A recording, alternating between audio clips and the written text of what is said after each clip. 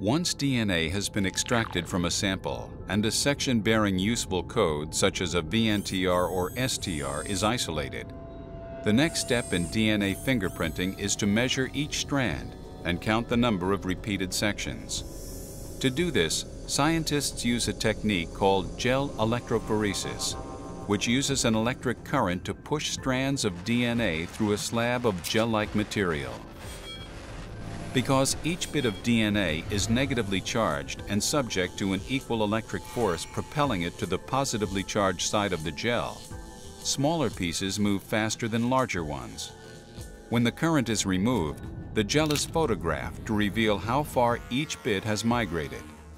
By comparing the bands produced by the DNA samples of interest with bands produced by standard samples whose sizes are already known, the precise length of each DNA fragment can be gauged.